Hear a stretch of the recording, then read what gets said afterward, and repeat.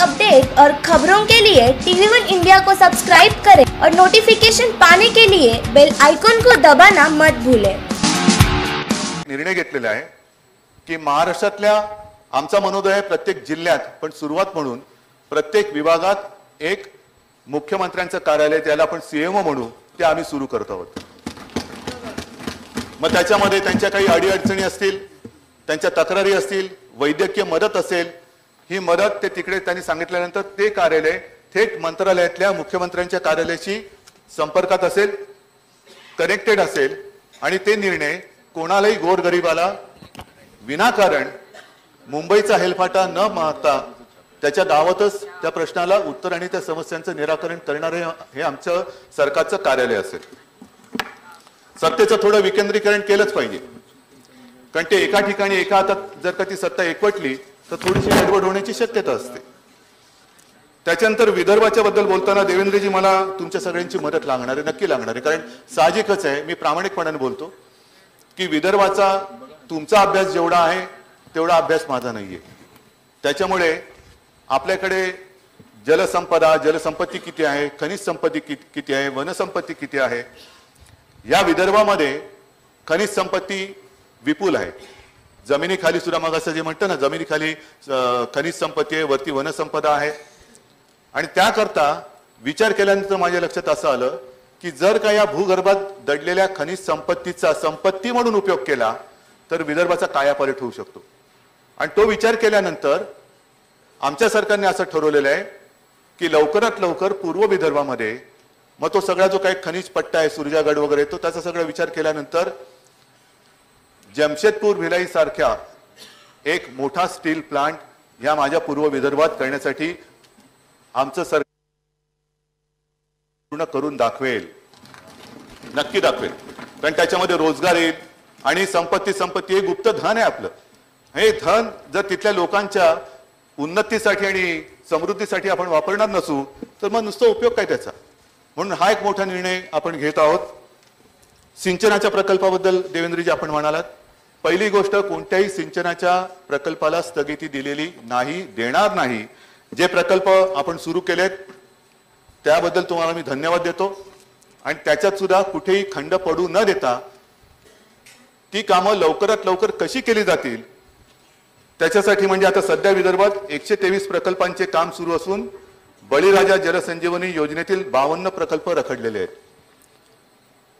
आणि जून दोन हजार तेवीस पर्यंत आम्ही असं ठरवलेलं आहे की टप्प्याटप्प्याने प्राधान्यक्रम ठरवून हे सर्व प्रकल्प आपण पूर्ण करणार आहोत.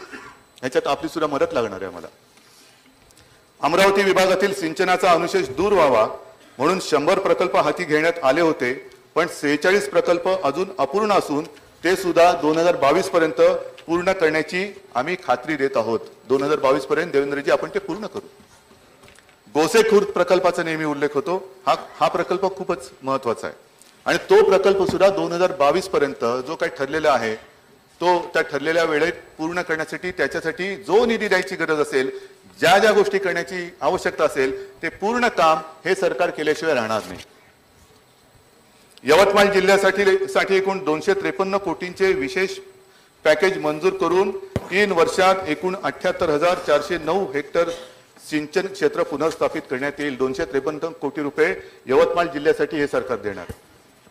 सिंचन प्रकल्प रखडण्यामागे जे आपण म्हणालात की भूसंपादन आणि पुनर्वसन ही महत्वाची कारणं आहेत. काही काही गोष्टी असतात काही कोर्टबाजी होते आणखीन काही गोष्टी होतात. हे सगळे अडथळे दूर करून ही सुद्धा कामं ठराविक वेळेत पूर्ण करण्याचा आम्ही प्रयत्न करू आणि बहुतेक सगळी कामं आम्ही पूर्ण करूच करू ही मला खात्री आहे. मग बाकीचे सुद्धा सिंचन प्रकल्प आहेत. धापेवाडा आहे. या प्रकल्पाला दरवर्षी चारशे कोटी रक्कम देऊन तोही प्रकल्प पूर्ण करण्याचं आम्ही ठरवलेलं आहे. सिंचन आपण म्हणतो सिंचन सिंचन हे करू ते करू ते करू पण कालवे नसतील तर काय होणार नाही. आणि म्हणून हे सिंचनाचे प्रकल्प पूर्ण करत असताना अनेक ठिकाणी जे नादुरुस्त कालवे आहेत कारण मला एक लक्षात आलं की पाणी शेवटपर्यंत पोहोचत नाही. बरोबर ना? शेवटपर्यंत पोहोचत नाही पाणी. आणि तिथे मी सांगितलं होतं की जिथे जिथे ह्या अशा गोष्टी अडलेल्या आहेत तिथल्या तिथे मी सूचना दिल्या की ही कामं तातडीने पूर्ण करा आणि हे पूर्ण झालेले सिंचनाचे प्रकल्प त्याच्यातनं पाणी ज्या कामासाठी ते प्रकल्प केलेत ती कामं जर कारण अशीच राहणार असेल तर प्रकल्पाचा काही उपयोग नाही. म्हणून जे कालवे नादुरुस्त आहेत त्या त्यासाठी सुद्धा एक विशेष मोहीम हातात घेऊन ही सर्व नादुरुस्त कालव्यांची कामं करून हे पाणी शेवटपर्यंत आम्ही पोचवल्याशिवाय राहणार नाही. आणखीन मी स्पष्ट करतो की सिंचनाचा कोणताही अनुशेष हे समजा मी काही उल्लेख केल्या व्यतिरिक्त सुद्धा जर काही राहिलं असेल आपण तोही माझ्या लक्षात आणून द्या.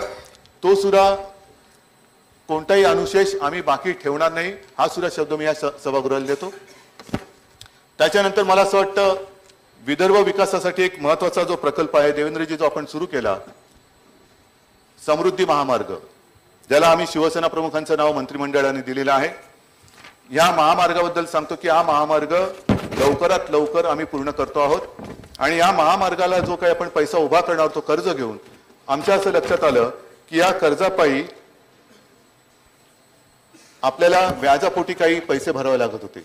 म्हणून त्या कर्जाच्या ऐवजी सरकारच्या मार्फतच ती रक्कम आम्ही देणार आहोत आणि त्यामुळे शासनाचे व्याजापोटी जाणारे जवळपास अडीच हजार कोटी रुपये या शासनाने वाचवलेले आहेत. अडीच हजार कोटी हे त्याच्यात जे जात होते हे हे जे म्हणतात ना स्थगिती स्थगिती नाहीये. हा थोडासा फेरविचार केल्यानंतर काही सुधारणा जर का करू शकत असू राज्याच्या हितासाठी तर तो आम्ही करतो आहोत आणि मला असं वाटतं ते रास्त आहे. आणि हा नुसता महामार्ग झाल्यानंतर आपण एक असं विचार करत होतो महामार्ग झाल्यानंतर समृद्धी आली पाहिजे. तर ह्या महामार्गाच्या आजूबाजूला जवळपास वीस नवनगरे ही कृषी समृद्धी केंद्र म्हणून विकसित करण्यात किंबहुना करण्याचा आमचा मनोदय आहे. आणि मला खात्री आहे की ही कृषी के- समृद्धी केंद्र म्हणून जेव्हा आम्ही विकसित करू तेव्हा तिथे कृषी प्रक्रिया उद्योगाची स्थापना सुद्धा आम्ही केल्याशिवाय राहणार नाही. म्हणजे समृद्धी खऱ्या अर्थाने समृद्धी आली पाहिजे. या महामार्गाच्या महामार्गाच्या परिसरातील उद्योग पर्यटन व्यवसाय मोठ्या प्रमाणावर वाढेल. आणि अपेक्षा अशी आहे की त्या माध्यमातून जवळपास पाच लाख लोकांना थेट रोजगार निर्मिती झाल्याशिवाय राहणार नाही. हा एक मोठा प्रकल्प या विदर्भासाठी आणि देवेंद्रजी आपण सुरू केलेला आहात. तो कुठे आम्ही थांबवलेला नाही. उलट तो ती जबाबदारी म्हणजे त्यांना शिवसेना प्रमुखांचं नाव दिल्यामुळे आता ती जबाबदारी आमची झालेली आहे. आणि हे काम विदर्भाला नव्हे महाराष्ट्राला अभिमान वाटेल असं करून दाखवल्याशिवाय आम्ही राहणार नाही. त्याच्यानंतर आणखीन एक शेतीसाठी शेतीबद्दल जर बोलायचं झालं तर विदर्भामध्ये धान उत्पादक मोठ्या प्रमाणावर आहेत. हा जो काही अवकाळीचा फटका पडला तो बघितल्यानंतर मुंबईमधूनच मी त्यांना प्रोत्साहनपर जी काही राशी असते त्याच्यामध्ये पाचशे रुपयाची एक वाढ दिली होती. इथे आल्यानंतर मला असं वाटतं की एकूण मूळ किंमत आणि प्रोत्साहनपर राशी त्याच्यात मी अधिक दोनशे रुपयाची वाढ करतोय. अधिक दोनशे रुपयाची वाढ करतोय आणि एकूण आपल्या धान उत्पादक शेतकऱ्याला हातामध्ये अडीच हजार रुपये मिळतील अशी अशी सोय ह्या सरकारने केलेली आहे. शेतीसाठी सुद्धा ज्या काही इतर उपाययोजना करायच्या आहेत त्याच्यात गोंदिया भंडारा गडचिरोली आणि चंद्रपूर अशा विदर्भातील चार जिल्ह्यात भात शेती केली जाते. ती वाढवण्यासाठी ब्राऊन राईस उद्योगाला विकसित करण्यासाठी आम्ही भात शेती मिशन राबवणार आहोत. यामुळे कृषी प्रक्रिया उद्योग सुद्धा मोठ्या प्रमाणावरती वाढेल. विदर्भात तयार होणाऱ्या कापसावरती मूल्यवर्धन करून रोजगार निर्मितीसाठी सूक्ष्म लघु आणि मध्यम कापूस उद्योगांना चालना देऊन त्याचा दर्जा हा सुद्धा वाढवण्यात येईल. कापसाबरोबरच ही भूमी संत्र्यासाठी ओळखली जाते. दरवर्षी मी ऐकत असतो की संत्रा प्रक्रिया प्रकल्प संत्रा प्रक्रिया प्रकल्प. खरंच या संत्रा उत्पादकांसाठी आपण काय करू शकतो? काय प्रक्रिया प्रकल्प आणू शकतो? कसं या संत्रा उत्पादक शेतकऱ्यांना त्यांच्या मेहनतीचं फळ हे अधिक चांगल्या पद्धतीने आपण देऊ शकतो? याच्यासाठी एक मोठा विचार सर्वांनीच करून प्रामाणिकपणाने हा प्रक्रिया प्रकल्प प्रक्रिया प्रकल्प आहे तरी काय आणि काय नेमकं करू शकतो? त्याच्यासाठी सुद्धा मी सांगितलेले की सगळ्यांना बोलवा आपण त्याचाही विचार करू आणि प्रामाणिकपणाने याच्यावरती काम करून ह्या संत्रा उत्पादक माझ्या शेतकऱ्यांना बागायतदारांना सुद्धा हा आपण न्याय मिळवून देऊ. आणि म्हणून मी नुसती अशी कोरडी गोष्ट करणार नाही की संत्रा प्रक्रिय प्रकल्प आम्ही करू. तसं नाहीये. त्याच्यावरती सगळ्यांनी मिळून आपण या सगळेजण या सगळ्यांनी मिळून आपण त्यांना काहीतरी देऊ शकतो. एकूणच शेतकऱ्याचे उत्पन्न वाढावे म्हणून अन्नधान्य फळे भाजीपाला उत्पादनासाठी आम्ही या ठिकाणी अन्न प्रक्रिया क्लस्टरची उभारणी करण्याचं ठरवलेलं आहे. आता हे हे थोडेसे विषय मी पहिले ढोबळमानाने मांडतो आहोत. मांडतो. एक विचार आलेला आहे प्राथमिक विचार मनात आलेला आहे. त्याच्यावरती सगळ्यांची मतं विचारात घेऊन तज्ज्ञांशी बोलून आपण त्याच्यावरती कृती करू.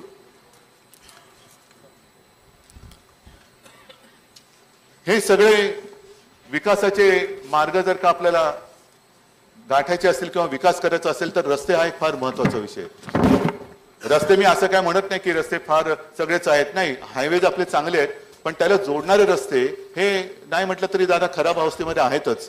आणि म्हणून आपण असं म्हणतो की रस्त्यामुळे विकास होतो आणि खराब रस्त्यांमुळे ही अधोगती होते. कारण आपण सगळी मोठी मोठी नगरं केली पण त्यांना जोडणारे रस्तेच जर नीट नसतील तर लोक म्हणतील जायचं कशाला? नीट आहे हाडाफेड आणि बरा आहे तो. कशाला आणखीन खड्ड्यातून गेलं तर हाडं आणखीन माझ्या शरीरात किती हाडं आहेत? हे मोजण्यासाठी ते रस्ते नसावेत. तर रस्त्याची सुद्धा जी काही दुरावस्था आहे ती केवळ विदर्भातच नाही तर संपूर्ण महाराष्ट्रामध्ये रस्त्यांचा दर्जा जो चांगला नाही त्याच्यासाठी सुद्धा राज्यातील रस्त्यांच्या मजबूतीकरण व सुधारणांसाठी आम्ही सर्वतोपरी प्रयत्न करू. चालू असलेल्या हॅम एच एम योजनेत बँकांकडून उपयुक्त प्रतिसाद मिळत नाहीये. या समस्येवर मात करण्यासाठी आम्ही आंतरराष्ट्रीय वित्तीय संस्थांकडून निधीचे नवीन स्रोत निर्माण करून रस्त्यांच्या सुधारणेला गतिशील चालना देणार आहोत. आणि मला असं वाटतं याच्यात सुद्धा जर का केंद्राकडे बघू नाही मिळाली म्हणत तर आपलं आपण करू. त्याचबरोबर सार्वजनिक बांधकाम खात्याला नवीन तंत्रज्ञानाचा वापर करण्याबाबत सूचित केले आहे. जुने पारंपरिक तंत्रज्ञानाऐवजी नवीन तं तंत्रज्ञानाचा जर का वापर केला तर रस्त्याचा दर्जा उंचावेल व रस्ते रस्ते अधिक काळापर्यंत टिकतील अशी एक आशा आहे. कारण देश जग सुधारतो आहे तंत्रज्ञान नवीन येतं आहे नवीन नवीन टेक्नॉलॉजी आल्यानंतर कदाचित असंही होऊ शकेल की एखादं तंत्रज्ञान असं मिळून जाईल की केवळ राज्यातच नव्हे तर देशामध्ये त्याचा उपयोग करून देशातले रस्ते चांगले करू शकतो असंही होऊ शकेल. आदिवासी बांधवांसाठी सुद्धा विदर्भात खास करून मोठ्या संख्येने आदिवासी राहतात. पण हा आदिवासी अजूनही आदिवासी त्याला म्हणत असताना त्यांना खरोखर न्याय मिळतो का? त्याच्यासाठी अनेक योजना आहेत. अनेक अनेकदा आपण निधीची एक प्रोव्हिजन करतो पण हा निधी खरोखर त्याच्यापर्यंत पोहोचतो का? हे कुठेही मला नाही वाटत तपासलं जातं. आणि म्हणून आम्ही असं ठरवलेलं आहे की दरवर्षीच्या बजेटमध्ये आदिवासी बांधवांसाठी लोकसंख्येच्या प्रमाणात आम्ही तरतूद करू. जेवढे आदिवासी आहेत त्याच्यात लोकसंख्येच्या प्रमाणावरती आम्ही तरतूद करू. आणि केवळ तरतूदच नाही तर आदिवासींचा पैसा आदिवासींसाठीच खर्च केला जाईल हे आम्ही जबाबदाऱ्या प्रत्येकावरती ठरवून त्याच्यावरती सुद्धा लक्ष देऊ आणि हे सुद्धा आम्ही स्वतः जातीन लक्ष देऊन पाहू. आणि त्याचा आढावा सुद्धा आम्ही घेऊ. आपल्याकडे वन हक्क कायदा आहे.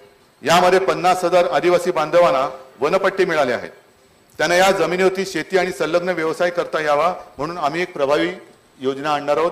त्याचा सुद्धा नंतर खुलासा होईल. दुर्गम आदिवासी भागामध्ये रस्ते आणि पूल झाले तर त्यांच्यापर्यंत विकास पोहोचेल. कारण काही वेळेला मी स्वतः बघितलेले आहे आपण सर्वांनी बघितलेले आहे की अतिशय दुर्गम भागामध्ये आदिवासी आपले राहतात. त्यांना जवळपास ते या जगात राहतात की नाही हे सुद्धा कळत नसेल. जगात इतरत्र काय चालले की नाही हे कळत नसेल. कारण जाणं येणंच एवढं दुरापस्त आहे की त्यांना जाणं येणं नको आहे ते बरं आहे असं वाटतं. तर हे रस्ते सुद्धा एक विशेष कार्यक्रम घेऊन त्यांना आपल्या या नेहमीच्या समाजामध्ये जवळ आणण्यासाठी आम्ही प्रयत्न करू. मेळघाट सारख्या भागामध्ये वर्षानुवर्ष कुपोषणाची समस्या आहे. आहे अनेक वर्ष आहे. सगळ्यांनी त्याच्यावर प्रयत्न केला आपणही केला आम्ही करतोय त्याच्या आधी करत होतो. पण अजूनही म्हणावं तसं म्हणजे पुढे चाललंय त्याच्यात कमी कमी कमी होतोय. पण एक विचार असा एक मनामध्ये आलेला आहे की जी कुपोषणाची समस्या असते त्यांना पौष्टिक अन्न मिळालं पाहिजे. आपण अनेकदा काय करतो निधी देतो पण तो निधी कसा कोण कुठे वापरतो आणि खरंच अन्नधान्य काय मिळतं ह्याच्यावरती आपलं लक्ष नसतं. तर आमचा असा एक विचार आहे की त्या आदिवासी मुला मुलींसाठी पौष्टिक आहार देण्यासाठी मध्यवर्ती स्वयंपाकगृह आम्ही स्थापन करू. की त्या खा जेवणाचा दर्जा हा चांगला आणि उत्तम राहील की जेणेकरून त्याच्यामध्ये काही पौष्टिक जे काही प्रोटीन्स विटॅमिन्स जे काही आवश्यक गोष्टी असतात शारीरिक पोषणासाठी त्या त्याच्यामध्ये व्यवस्थित पद्धतीने केल्या जातील आणि तो असा हा एक पोषक आहार हा त्या स्वयंपाकगृहातून सगळ्या आदिवासींना दिला जाईल. देवेंद्रजी आपण एक उल्लेख केला होता की आदिवासींच्या एक हजार कोटी रुपयाच्या स्पेशल स्पेशल पॅकेजचा उल्लेख केला होता. या पॅकेजसाठी चालू आर्थिक वर्षात पाचशे कोटी रुपयाची तरतूद करण्यात आली असून उर्वरित तरतूदही आवश्यकतेनुसार करण्यात येईल. आपण सुरू केलेले कोणतेही चांगले काम आम्ही थांबवलेले नाही. उलटा आपल्याकडनं आणखीन चांगल्या कामाची आम्हाला अपेक्षा आहे ती आम्हाला सुचवत राहा. आम्ही ते करत राहू. त्याच्यानंतर मला असं वाटतं आपल्यापैकी सगळेच जण निसर्गावरती प्रेम करणार आहेत. निसर्गावरती प्रेम करण्यासाठी इथे चांगली जंगलं आहेत. वनसंपदा आहे. अनेक देश हे केवळ जंगलावरती आपली अर्थव्यवस्था वाढवत आहेत जगभरातून तिकडे पर्यटक येत आहेत आणि त्या पर्यटकांच्या माध्यमातून त्या देशाची आर्थिक परिस्थिती आणि अर्थव्यवस्था त्याच्यावरती चालते. अनेक देश आहेत असे. मला असं वाटतं की नागपूरला आपण व्याघ्र राजधानी म्हणतो. अर्थातच तशीच ती आहे. या भूमीमध्ये आपल्याकडे अनेक पर्यटन स्थळ आहेत. आता गेल्या आठवड्यातच त्या डेक्कन क्वीनचं नूतनीकरण झालं. आणि बोधल कसा त्याबद्दलचं ते एक तिथे माहिती देण्यात आली. त्या डेक्कन क्वीनवरती आपल्या या राज्यातल्या अनेक पशु पक्ष्यांची पक्ष्यांची खास करून छायाचित्र लावण्यात आली की जेणेकरून एक वाटतं की आपलं काहीतरी छान वैभव आहे भूषण आहे. आणि म्हणून मी त्या कार्यक्रमात बोलताना असं म्हटलं होतं पर्यटक पर्यटन खात्याला मी सूचना दिल्या. की इतर ज्या लांब मार्गाच्या आपल्या रेल्वेज आहेत त्याच्यावरती सुद्धा माझ्या महाराष्ट्रातल्या वैभवाची चित्र तिथे आली पाहिजेत की जेणेकरून माझ्या महाराष्ट्राचं जे वैभव आहे ते देशभर जाईल. महाराष्ट्रात काय यावं काय बघायचं तर ह्या गोष्टी बघायला पाहिजेत. बोदल कसा आहे ताडोबा आहे पेंच आहे बोर नवेगाव नागझिरा यासारखी आंतरराष्ट्रीय दर्जाचे व्याघ्र प्रकल्प आहेत. आणि मला स्वतःला माहिती आहे कारण मी एक वन्यप्रेमी आहे. हल्ली जास्त मला काय जंगलात वगैरे जाता येत नाही. पण अनेकदा मी जेव्हा जंगलामध्ये जात होतो फोटोग्राफी करायला जात होतो तेव्हा परदेशी पर्यटक खास करून वाघ बघायला म्हणून त्या जंगलामध्ये येतात. आणि त्यांनी वाघ बघितल्यानंतर मी हेही बघितलेलं आहे अक्षरशः त्यांच्या डोळ्यातून घड्याघड्या पाणी येतं की समोर हे आपलं वाघासारखा असा उमदा हा प्राणी मी प्रत्यक्षात बघू शकतोय. हे त्यांच्यासाठी एक स्वप्नव्रत असतं. तर हे जे आपलं वैभव आहे हे वैभव हे एक जागतिक दर्जाचं वैभव आहे. आणि त्याला सुद्धा महत्त्व देऊन योग्य त्या सोयी सुविधा मग राहण्याच्या असतील दळणवळणाच्या असतील या सगळ्या सोयीसुविधा त्यांना पुरवून ह्या विदर्भामध्ये पर्यटन विकास हा साधला जाईल. जागतिकदृष्ट्या हा विदर्भ या विदर्भामध्ये आणखीन एक एक विशेष गोष्ट आहे ती म्हणजे लोणार सरोवर. लोणार सरोवराचं सौंदर्य काय आहे हे मी जेव्हा माझी फोटोग्राफी करत होतो तेव्हा हेलिकॉप्टरमधनं बघितले. असं ते संमोहन संमोहित करणार असं ते दृश्य आहे.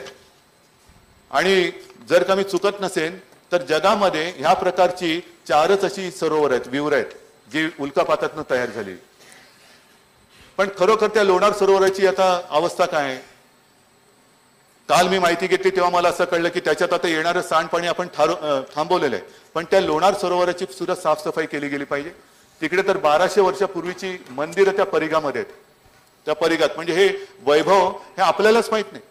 मी ज्या वेळेला त्या सरोवराचा फोटो सगळ्यांना दाखवतो तेव्हा आपलीच लोक विचारतात की बाबा हे कुठे आहे सरोवर? मग मी त्यांना सांगतो बुलढाण्यात आहे. अरे बुलढाण्यात? मग जायचं कसं? राहायचं कुठे? तर ही सगळी आपली ही जी काय हे आपलं धन आहे ही संपत्ती आहे. त्या संपत्तीचा वापर जर का आपण केला नाही तर मला असं वाटतं आपल्यासारखे कर्मदरिद्री दुसरे कोणी नसू. म्हणून लोणार सरोवर असेल आणखीन काही ऐतिहासिक ठिकाणं आहेत काही नैसर्गिक ठिकाणं आहेत इकडे सुद्धा पूर्ण सगळ्या सोयी सोयी सुविधा देऊन पर्यटकांना तिकडे येणं अधिक सुखदायक होईल हा सुद्धा निर्णय ह्या सरकारने घेतलेला आहे आणि तो सुद्धा लवकरात लवकर अंमलात आणल्याशिवाय राहणार नाही कारण पर्यटन आलं तर साहजिकच आहे त्या पर्यटनाच्या निमित्ताने हे बाकीचे सगळे उद्योगधंदे येतात हॉटेल्स आले आणखीन काही गोष्टी आल्या मग स्थानिक लोकांना रोजगार मिळेल. म्हणजे नुसतं पर्यटन नाही तर रोजगार सुद्धा तिकडे उपलब्ध होणार आहे. दुसरा एक विषय जो अतिशय गंभीर आरोग्याच्या दृष्टीने आहे कारण अमरावती आणि अकोला या जिल्ह्यातल्या आमदारांची मी बैठक घेतली तेव्हा तिथे खारपाण पट्टा हा फार मोठ्या प्रमाणावर आहे. आणि तो पट्टा एवढा विचित्र आहे की त्यातून पाणी प्यायल्यानंतर पाणी पिऊन पिऊन पिऊन तिकडे काही शारीरिक विकृती म्हणा शारीरिक रोग ह्या तिकडे निर्माण होतात. पण करायचं काय? म्हणून मी त्यांना वचन दिलेलं आहे की लवकरात लवकर तिकडे ते पाणी शुद्ध करून पिता येतं का? ह्याच्यावरती तर विचार होईलच. जसं आपण मुंबईमध्ये एस टी पी लावणार आहोत तशा प्रकारचं काही प्रकल्प तिकडे लावता येईल का? तेही आम्ही बघतो आहोत. पण तोपर्यंत पिण्याच्या पाण्यासाठी नवीन जलस्रोत तिथे कुठे उत्पन्न होऊ शकतो का? नवीन तळ एक मागे सर्वे केला गेला होता पण तो योग्य नव्हता म्हणून तो राहिला. तिथे पुन्हा सर्वे करायला सांगितलेलं आहे. आणखीन आजूबाजूच्या ठिकाणामध्ये जर का कुठूनही पिण्यायोग्य पाणी मिळू शकत असेल तर त्याही बाबत मी शोध घ्यायला सांगितलेला आहे. पण तिथल्या लोकांना पिण्यायोग्य पाणी हे दिल्याशिवाय हे सरकार राहणार नाही हे सुद्धा वचन मी या निमित्ताने इथे देतोय.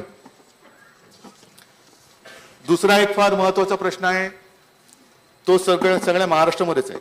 आज मी संपूर्ण महाराष्ट्राचा एकूण काय बोलत नाही कारण हे अर्थसंकल्पीय बजेट तसं नाहीये. या गोष्टी सर्व इथे तिथे सर्व महाराष्ट्रामध्ये तशा सारख्याच आहेत. रस्ते आहेत पाणी आहे आरोग्य व्यवस्था आहे. या सर्व दूर आहेत. केवळ राज्यातच नाही तर आपल्या देशामध्ये पण आहेत. पण विदर्भामध्ये आरोग्य सेवेमध्ये सुधारणा आपल्याला करावीच लागेल. जसं नागपूरमध्ये आपण कर्करोगासाठी हॉस्पिटल करतोय त्याला सुद्धा मी सांगितलं की काम त्याचं तरी थांबायचं तर नाहीच पण स्लोडाऊन सुद्धा होता कामा त्याला जिथे जिथे जो काही निधी आणि इतर ज्या काही सेवा सुविधा किंवा काही गरज लागेल ते लवकरात लवकर देऊन तात्काळ देऊन ते हॉस्पिटल सुद्धा जर ठरलेल्या वेळेच्या आधी होत असेल तर ते केल्याशिवाय राहायचं नाही. या सूचना सुद्धा मी दिलेल्या आहेत. विदर्भ व राज्यामध्ये इतरत्रही अनेक ठिकाणी आरोग्य संस्था व वैद्यकीय महाविद्यालयांचे काम निधी अभावी अपूर्ण असल्याचे माझ्या लक्षात आलेले आहे. त्यामुळे आवश्यक असणारा निधी तातडीने उपलब्ध करून करून देऊन अशी बांधकामं पूर्ण करण्यात येतील हे सुद्धा मी या सभागृहात सांगू इच्छितो. गोंदिया येथे प्रलंबित असणारे वैद्यकीय महाविद्यालयाचे बांधकाम हे कोणी करायचा हा प्रश्न होता? आणि मग जेव्हा बैठक घेतली तेव्हा बैठकीमध्ये असं ठरवून टाकलं की सार्वजनिक बांधकाम विभागामार्फत हे तयार करून लवकरात लवकर हे हॉस्पिटल आणि वैद्यकीय कर्मचारी वर्ग तातडीने तिथे उपलब्ध करून देण्याबाबत सुद्धा मी सूचना दिलेल्या आहेत. आरोग्य व्यवस्थेमध्ये आशा आशा कार्यकर्ते हा एक कणा आहे.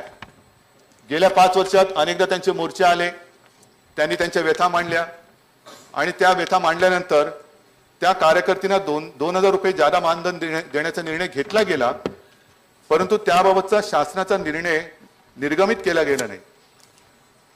हा निर्णय शासन त्वरित निर्गमित करेल आणि त्याची अंमलबजावणी एक जानेवारी दोन हजार वीसपासून ही सुरू होईल. त्याच्यानंतर डॉक्टर बाबासाहेब आंबेडकर रुग्णालय व अनुसंधान केंद्र नागपूर याचे श्रेणीवर्धन करून त्याला पीजी इन्स्टिट्यूटची मान्यता दोन हजार चौदाला आधीच्या सरकारने दिलेली आहे. ती प्रत्यक्षात सुरू झाली नव्हती. आणि म्हणून हे सरकार त्याचा सुद्धा पाठपुरावा करून ते सुद्धा तात्काळ सुरू करण्याबाबत कार्यवाही केल्याशिवाय राहणार नाहीये. विदर्भामध्ये जसा शेती आणि खनिजाचा साठा आहे तसाच मत्स्य व्यवसाय सुद्धा आहे. आणि हा मत्स्य व्यवसाय पूर्व विदर्भामध्ये फार मोठ्या प्रमाणात होती. मागे केळकर समिती म्हणून एक समिती याच्यावरती अपॉइंट केली गेली होती. आणि त्या समितीने एक असा अहवाल दिला की जर का या पूर्व विदर्भातील मत्स्य व्यवसायाला जर का चांगलं प्रोत्साहन दिलं तर संपूर्ण मध्य भारतात विदर्भातून मत्स्य पुरवठा होऊ शकतो. आणि म्हणून हे लक्षात घेऊन या ठिकाणी फिशरीज हब स्थापन करण्याबाबतची शक्यता तपासण्यात येईल. आणि ती जर का योग्य असेल तर सरकार तो फिशरीज हब सुद्धा इथे स्थापन केल्याशिवाय राहणार नाही. ग्रामीण पाणी पुरवठा हा सुद्धा आहेच. दरवेळेला असं आपण म्हणतो की आपल्या अजून ग्रामीण भागामध्ये आपल्या ज्या माता भगिनी आहेत त्यांना लांब जाऊन पाणी आणावं लागतं. साधारणतः एक कोटी बत्तीस लाख ग्रामीण कुटुंबापैकी साधारण पन्नास लाख कुटुंबांकडे घरामध्ये नळाद्वारे पाणी पुरवण्यात येते आजपर्यंत. हे काम म्हणजे चांगलं झालेलं आहे. पण उरलेलं जे आहे साधारणतः एक्क्याऐंशी लाख कुटुंब आहेत. या एक्क्याऐंशी लाख कुटुंबांना हे सरकार दोन हजार चोवीसपर्यंत नळाद्वारे पाणी पुरवठा करण्यासाठी वचनबद्ध आहे. दोन हजार चोवीसपर्यंत या एक्क्याऐंशी लाख कुटुंबांना हे सरकार पाणी पुरव- पुरवठा करेल. मियान हा सुद्धा एक मोठा प्रकल्प ज्याचा उल्लेख देवेंद्रजी आपण केला. त्याही प्रकल्पाला कुठेही काही कमी पडू देणार नाही कारण शेवटी तो आपल्या विदर्भाचा प्रकल्प आहे. ज्या काही अडीअडचणी असतील कारण हा महत्त्वाचा एक महत्वाकांक्षी प्रकल्प आहे. विदर्भाचा कायापालट करण्याची क्षमता त्याच्यामध्ये आहे. नवीन गुंतवणूकदार आपल्यालाही माहिती आहे की ज्या प्रमाणात अपेक्षा होती तसे गुंतवणूकदार आलेले नाहीत. ज्या काही सोयी सुविधा आपण दिल्या होत्या तरी सुद्धा त्याच्यामध्ये तसे उद्योगधंदे सुरू होऊ शकलेले नाहीयेत. हे का नाही झालं? काय त्यांना अडचणी आहेत? ह्याचा सुद्धा एक आम्ही आपण सगळ्यांनीच म्हणून मला असं वाटतं एक फेर आढावा घेण्याची गरज आहे. आणि नवीन गुंतवणूकदारांना नवीन अलॉटमेंट होणाऱ्यांना पाच वर्षाची मुदत देऊन रक्कम भरण्याची सवलत हे सरकार देण्याचा विचार करत आहे आणि ते दिल्याशिवाय आपण राहणार नाही. ज्यामुळे त्यांना वर्किंग कॅपिटल उभं करायला मदत होऊ शकते. मियानमधील गुंतवणूक वाढवण्यासाठी आपण म्हणतो ना की पीपीपी म्हणजे पीपीपी म्हणजे त्याचा फुलफॉर्म माहिती आहे तुम्हाला सगळे नुसतं त्याचा अनर्थ कोणी करू नये. त्या माध्यमातून फास्ट ट्रॅकवरती हा प्रकल्प नेण्याचा आमचा मनोदय आहे. आणि या ठिकाणी येणाऱ्या प्रकल्पांना जसं मी सुरुवातीला म्हटलं तशा विविध प्रभावी सोयीसुविधा सुद्धा हा हे सरकार दिल्याशिवाय राहणार नाही. अवकाळी पावसाचा एक विषय आपण नेहमी मांडता. त्या अवकाळीचे आहे केंद्र सरकारकडे आम्ही मागणी केलेली आहे. जसं केंद्र सरकारकडे एकूण पंधरा हजार कोटीची मागणी कोल्हापूरच्या पूरग्रस्तांसाठी आणि अवकाळीच्या मदतीसाठी आम्ही केलेली आहे. त्याचप्रमाणे जीएसटी बद्दल सुद्धा मी बोललो होतो की पंधरा हजार कोटी केंद्राकडनं येणं बाकी त्यातले मला वाटतं जयंतराव पहिले साडेचार हजार कोटीचे चार हजार चारशे आले. बाकीचे लवकरात लवकर येतील अशी आशा आहे. आणि जसं तुम्ही सांगितलं की केंद्र सरकारने गेल्या वेळेला कशी मदत केली पटपट तसं या वेळेला ते करेल. नाही केले तर तुम्हाला घेऊन आम्ही केंद्राकडे जाऊच. तर अवकाळी पावसासाठी साधारणतः मी अगदी टक- आकडे नाही सांगत पण एक साडेसहा हजार कोटीचे रुपयाचं वितरण करण्यात आलेलं आहे. आणि प्रलंबित असणाऱ्या साधारणतः ही सुद्धा मागणी मोठी आहे. साडे चौदा हजार कोटी हे केंद्राकडनं जर का आले तर यांना आपण भरघोस मदत आपण देऊ शकू. पण तोपर्यंत जी रक्कम ठरलेली आहे त्याच्यात कुठेही आम्ही काही कमी पडू देणार नाही. नंतर राज्यपालांच्या अभिभाषणाबद्दल आपण जे बोललात की माझ्याकडनं त्याला उत्तर एक अपेक्षित होतं नक्की होतं. आणि ते उत्तर देताना मी गाडगेबाबांचा संदर्भ दिला होता की राज्य कसं असावं ते डोळ्यासमोर ठेवून आम्ही राज्य करतो आहोत. आपण नेहमी असं म्हणतो की हा महाराष्ट्र आमच्या छत्रपती शिवाजी महाराजांचा महाराष्ट्र आहे. छत्रपती शिवाजी महाराज हा गोरगरिबांचा रयतेचा राजा दिनदुबळ्यांचा राजा. किती संकट आलं तरी लढायचं कसं हे त्यांच्याकडनं शिकावं. पण हे लढत असताना गोरगरिबांना दोन घास मिळाले पाहिजेत कारण शि- छत्रपती शिवाजी महाराजांना जे काही त्यांचे मावळे होते हे काटक होते. चटणी भाकर मीठ भाकर खाऊन ते आपले आपलं आयुष्य जगत होते. पण तरी सुद्धा त्या राजाला ते साथ देत होते. अशा या गोरगरिबांचा हा महाराष्ट्र आहे. आणि हा महाराष्ट्र लक्षात घेतल्यानंतर छत्रपती शिवाजी महाराजांचं एक स्मरण की बाबा हा गो- गोरगरीब जनतेचा राजा आहे. आणि म्हणून आमच्या सरकारने असं ठरवलेलं आहे की गोरगरिबांना दहा रुपयामध्ये शिवभोजन देण्याची योजना आम्ही सुरू करत आहोत. दहा रुपयामध्ये शिवभोजन. सुरुवातीला राज्यामध्ये पन्नास ठिकाणी ही केंद्र सुरू करण्यात येतील. आणि त्याचा एक अनुभव घेतल्यानंतर संपूर्ण राज्यभर ती कसं त्याचा विस्तार करायचा तो केल्यानंतर जे आमच्या वचननाम्यामधलं जे एक आमचं वचन होतं की दहा रुपयात थाळी ते दहा रुपयामध्ये शिवभोजन ही योजना आम्ही सुरू करत आहोत. लवकरात लवकर त्याचं उद्घाटन सुरू होईल आणि त्या उद्घाटनाला आपण सर्वांनी यावं असं आमंत्रण मी आपल्याला देतो आहे. दोन घास दिल्यानंतर मग प्रश्न मोठा राहतो की हा दोन घास जिथून आपण आणतो तो दोन घास देणारा शेतकरी त्या शेतकऱ्याचं काय करायचं? कारण संकटामागून संकट येत आहेत बदलतं हवामान म्हणा त्या हवामानाला तर आपण काय थांबू शकत नाही. कधी दुष्काळ येतो कधी पूर येतो कधी अवकाळी येते. हा शेतकरी नेहमी अडचणीत असतो. आणि या शेतकऱ्याला सुद्धा आमच्याकडनं काही अपेक्षा आहेत. आणि ह्या अपेक्षा आशा मी मुंबईतल्या माझ्या अधिवेशनात बोललो होतो की महात्मा ज्योतिराव फुले यांनी त्यावेळेला इंग्रज सरकारसमोर सुद्धा मांडल्या होत्या. इंग्रज सरकारचे ते कोण राजपुत्र वगैरे आले होते तेव्हा तुम्ही उल्लेख केला होता की आपले ज्योतिराव शेतकऱ्याच्या वेशात त्याच्याकडे गेले होते.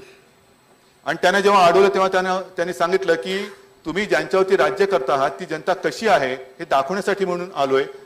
ह्याचा उल्लेख मी आज पुन्हा का करतोय? कारण त्या शेतकऱ्याचे ऋण आपण किती मानावे आणि किती फेडावे तेवढे थोडेच असतील. आणि म्हणून त्या गोरगरीब शेतकऱ्याला ज्यांचं कर्ज तीस सप्टेंबर दोन हजार एकोणीस पर्यंत थकीत आहे. ते सर्व थकीत कर्ज दोन लाखापर्यंत हे सरकार त्या कर्जातून त्याला मुक्ती देत आहे. महात्मा ज्योतिराव फुले शेतकरी कर्जमुक्ती योजना ही आज मी या सभागृहात जाहीर करतो आहे. ही योजना मार्च पासून सुरू होईल. मधले दोन महिने जे आहेत ते दोन महिने यंत्रणेला थोडेसे तयारीला आम्हाला पाहिजेत. पण ही संपूर्ण योजना ही पारदर्शक असेल? ह्यातला पैसा हा शेतकऱ्याच्या कर्ज खात्यामध्ये थेट त्याच्या खात्यात पोचला जाईल. मध्ये कुठेही त्याला अटीतटी शर्तीचा अडथळा येणार नाही. आणि जास्तीत जास्त शेतकऱ्यांना कर्जमुक्त करण्याचा आमचा मनोदय आहे. त्याचबरोबरीने ही योजना आज मी जाहीर करतोय. ती मार्च पासून सुरू होईल. आणि पुढचं जे म्हणजे ह्या हंगामाचं जे कर्ज आहे जे जून मध्ये थकीत होईल ते कर्ज सुद्धा पुनर्गठित करण्याच्या सूचना मी दिलेल्या आहेत. त्याच्यामुळे पुढच्या एकूण त्याच्या अर्थव्यवस्थेला कुठेही अडथळा हे सरकार येऊ देणार नाही हे सुद्धा वचन मी माझ्या महाराष्ट्रातल्या शेतकऱ्याला देतोय. राहतो प्रश्न जे शेतकरी नियमितपणाने कर्ज परतफेड करतायत त्यांच्यासाठी सुद्धा एक चांगली योजना येत्या आठ पंधरा दिवसामध्ये आम्ही तयार करतो आहोत. आणि ती सुद्धा योजना नीट तयार झाल्यानंतर जनतेसमोर आम्ही आणू. पण तूर्त ही शेतकऱ्यांची कर्जमुक्ती योजना मी जाहीर करताना तमाम शेतकऱ्यांना आणि माता बांधवांना सांगतो की बाबा राज्याची आर्थिक परिस्थिती गंभीर असेल चांगली असेल चांगली नसेल हे कालांतराने लोकांसमोर येईलच. राज्याची आर्थिक परिस्थिती कशी जरी असली समजा गंभीर जरी असली तरी ती सुधारण्याची ताकद आणि हिंमत या सरकारमध्ये आहे.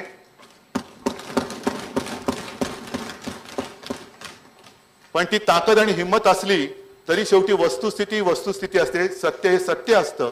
सोंग डोंग कशाची आणता येतात पण पैशाचं सोंग काही आणता येत नाही. आणि म्हणून मला सगळ्यांच्याच मदतीची आणि सहकार्याची अपेक्षा आहे.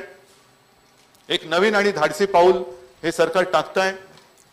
हे टाकत असताना ज्या ज्या सूचना तुमच्याकडनं येतील ठीक आहे. मगाशी देवेंद्रजी मी तुम्हाला काल परवाकडे जे माझ्या भाषणातनं उत्तरात मी म्हटलं की एखादा शब्द इकडे इकडे आपल्याला लागला असेल तर माफ करा कारण ही माझी संस्कृती ही अशी आहे संस्कार हे असे आहेत.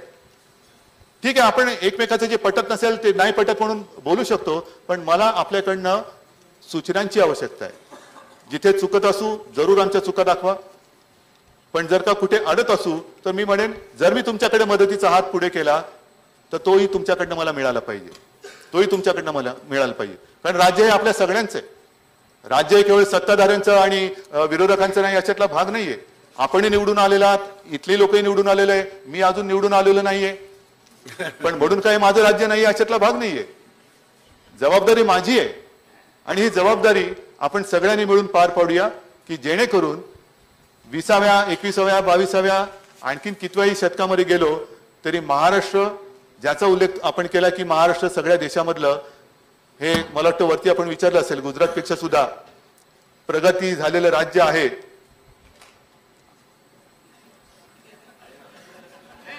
नाही नाही अशी परवानगी आपण घेतली असाल अशी अपेक्षा करतो.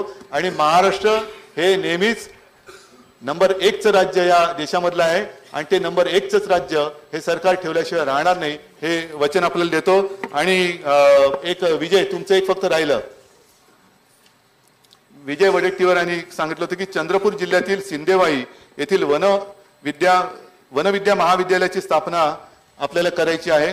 आणि ज्याच्यामुळे विदर्भातील शेतकऱ्यांना आधुनिक शेतीसाठी सुद्धा मदत होईल. तर विशेष शेतकऱ्यांचा असल्यामुळे ह्याचाही विचार करून ह्याच्यावरती सुद्धा अंमलबजावणी केल्याशिवाय राहणार नाही. मला असं वाटतं पहिल्या या अधिवेशनात आपल्या या सगळ्या प्रश्नांना मी काही उत्तर देण्याचा प्रयत्न केलेला आहे. ज्या प्रश्नांची उत्तर आपल्याला मिळाली नसतील असं आपल्याला वाटत असेल तर कृपा करून गैरसमज करून घेऊ नका. उत्तरं जरी मी आता देऊ शकलो नसलो तर त्याची नोंद या सरकारने घेतलेली आहे आणि लवकरात लवकर त्याची उत्तरं सुद्धा कृतीतून दिल्याशिवाय हे सरकार राहणार नाही एवढाच एक विश्वास देतो आणि तूर्त आपली रजा घेतो. जय हिंद जय महाराष्ट्र. महोदय माननीय मुख्यमंत्र्यांनी दोन लाखापर्यंत कर्जमाफी घोषित केली. अभिनंदन आहे. पण अध्यक्ष महोदय सातबारा कोराचं काय? सातबारा कोरा आपण करणार होतो? आणि सगळ्यात महत्वाचं काय अध्यक्ष महोदय? आपण दोन हजार एकोणीस सांगताय शेतकरी सगळ्या अडचणीत कधी आला? ऑक्टोबर दोन हजार एकोणीस. त्याचा ड्यू कधी होणार आहे? ते आपण असं म्हणताय की ते कर्ज आपण पुनर्गठित ते तेच म्हणतोय जोपर्यंत अर्थव्यवस्थेतलं आपल्याला जास्त कळतं कारण आपण तेव्हा सकल उत्पन्न वगैरे जे काय त्या दिवशी सांगत होतात ते लक्षात घेतल्यानंतर जोपर्यंत ते कर्ज जे कर्ज थकीत होत नाही तोपर्यंत जयंतराव त्याच्याबद्दल आपण काही बोलू शकत नाही. आणि म्हणून मला असं वाटतं की सप्टेंबर दोन हजार एकोणीस म्हणजे आपण केलं होतं कर्ज तेव्हा आम्ही बरोबर होतो. तेव्हा आपण त्या दोन हजार सोळा जून म्हणत होता आम्ही डिसेंबर म्हणत होतो. तरी सुद्धा ते केलं होतं. तर मला असं वाटतं की ह्या गोष्टी सगळ्यांनी एकमेकांनी समजून घ्यायला पाहिजेत. मुळामध्ये शेतकऱ्याला एक चांगला आधार देतोय हे महत्वाचं आहे. सन्माननीय मुख्यमंत्र्यांनी सांगितलं की हे नंतरचं कर्ज आम्ही मार्च मध्ये पुनर्गठित करू. पुनर्गठनाची या ठिकाणी मागणी नाही आहे. कर्ज माफीची मागणी अध्यक्ष महोदय. आणि त्यामुळे सरसकट कर्जमाफीचा जो शब्द दिला होता सात बारा कोराचा जो शब्द दिला होता तो शब्द हे सरकार पाळत नाही अध्यक्ष महोदय. हे सरकार अध्यक्ष महोदय या ठिकाणी पुन्हा एकदा एकीकडे पंचवीस हजाराचा विश्वासघात आहे. पंचवीस हजार देत नाही अध्यक्ष महोदय.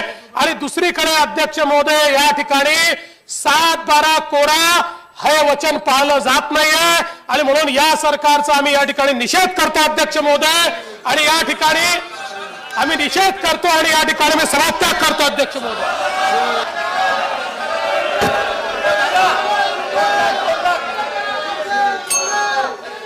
अध्यक्ष महोदय अध्यक्ष महोदय दोन लाखापर्यंत आमच्या सरकारने दोन हजार पंधरा पासून थकीत असणाऱ्या कर्जाची काळजी घेतलेली आहे. ते बघवलं नाही. आमच्या सरकारने घेतलेला निर्णय हा कोणत्याही अटी आणि शर्ती सोडून आहे सरकारने थेट त्या कर्ज ते थकलेलं आहे त्याच्या अकाउंटवर पैसे पाठवण्याचा निर्णय घेतलेला आहे. कोणालाही फॉर्म भरायची गरज नाही. कोणालाही स्वतःच्या पत्नीला घेऊन रांगेत जाऊन उभं राहायची गरज नाही. कोणालाही ऑनलाईन जाऊन काही घोटाळे करायची गरज नाही. कोणालाही हेलपाटे करायची गरज नाही. आमचं सरकार शेतकऱ्याच्या साठी अगद्या मोकळेपणाने कर्जमाफी देते. आहे एक कर्जमाफी पस्तीस हजार कोटीची जाहीर करणं आणि देणं सतरा किंवा अठरा हजार कोटीची असला व्यवसाय असला धंदा आमचं सरकार करत नाही. जे बोलतोय तेवढंच करताय. आणि म्हणून उद्धव ठाकरे साहेबांचं मी मनपूर्वक अभिनंदन करतो.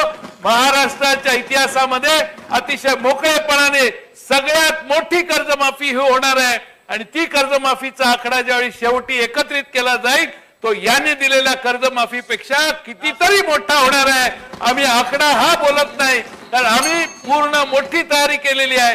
आणि कोणत्याही परिस्थितीत महाराष्ट्रातल्या रंजल्या गांजलेल्या शेतकऱ्याला पूर्ण दिलासा देण्याचा हा अतिशय क्रांतिकारक ऐतिहासिक निर्णय उद्धव ठाकरे यांच्या सरकारने घेतला. उद्धव ठाकरे यांनी जो पुढाकार घेतला त्याबद्दल त्यांचं अभिनंदनास ते पात्र आहेत. मुख्य विरोधी पक्ष नेत्यांनी त्यांचं कौतुक करायला पाहिजे होतं. विरोधी पक्ष नेत्यांनी या महाराष्ट्रातल्या कर्जमाफीला जे शेतकऱ्यांना दिलासा मिळाला त्याबद्दल समाधान व्यक्त करायला पाहिजे होतं. पण प्रत्येक गोष्टीत खोच काढणे आणि काहीतरी हुडकून काढणे आणि नाराजी व्यक्त करणे हे पहिल्या दिवसापासून विरोधी पक्ष नेते आणि विरोधी पक्ष करतोय याचा खेद आम्हाला वाटतोय त्याचा आम्ही निषेध करतो.